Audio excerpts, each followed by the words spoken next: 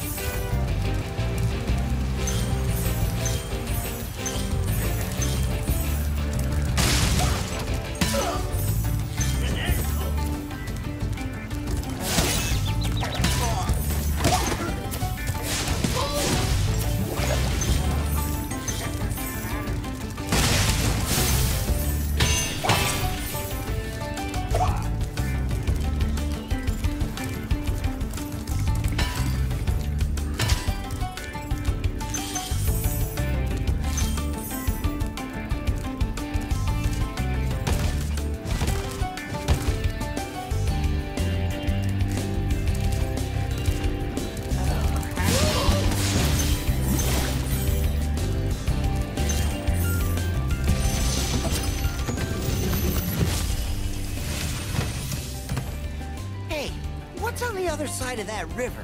Why don't you glide there and find out?